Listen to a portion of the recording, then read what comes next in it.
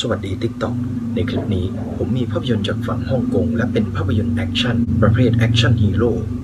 มาแนะนำให้ทุกท่านคลิกเข้ามาชมรายการทาง TikTok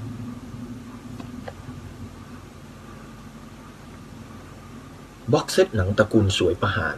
ในกล่องนี้บรรจุถึง2ภาคด้วยกัน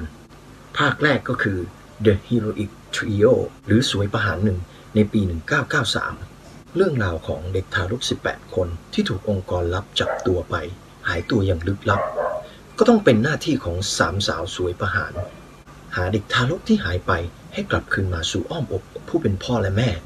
เรื่องราวชวนติดตามของสามสาวสวยประหาร ที่เป็นหนังแนวฮีโร่ออกแนว Wonder Woman แต่เป็นภาพยนตร์ฝั่งฮ่องกงภาพยนตร์เรื่องนี้ยังทุ่มทุนสร้างมากกว่า 80 ล้านเหรียญดอลลาร์ฮ่องกง เพื่อจะเนรมิตยุคสมัย ให้ดูออกแนวอนาคต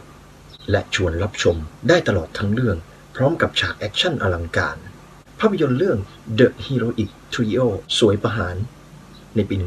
1993 นำแสดงโดยอนิต้ามุยหรือเหมยเยนฟัง แม็กกี้ชุง หรือจางมันอี มิเชลโยหรือหยางลี่ซิง และเป็นผลงานการกำกับของตูชี่ฟง หรือจอห์นนี่ทู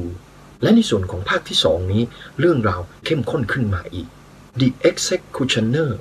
หรือสวยประหารภาค 2 จะมีความแตกต่างจากภาคแรกโดยสิ้นเชิง อัดแน่นไปด้วยฉากดราม่าชวนเสียน้ำตา การระเบิดนิวเคลียร์ครั้งใหญ่ที่เกาะฮ่องกง และหลังจากการระเบิดนิวเคลียร์ครั้งใหญ่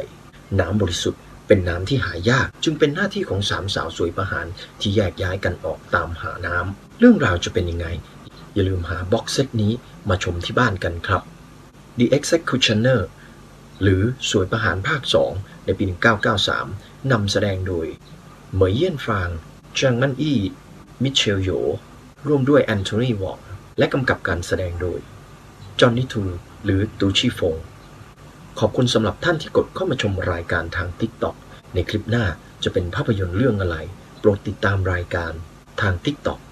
สำหรับคลิปนี้ สวัสดีครับ